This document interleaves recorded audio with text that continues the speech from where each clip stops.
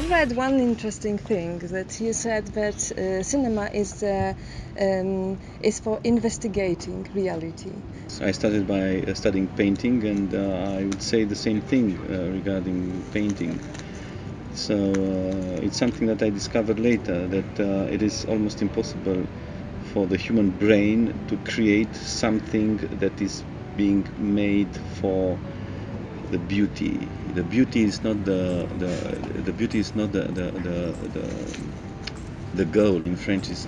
It- What you put on in, uh, to, to, to feed the, the, the fish. you know? Okay. Uh-huh.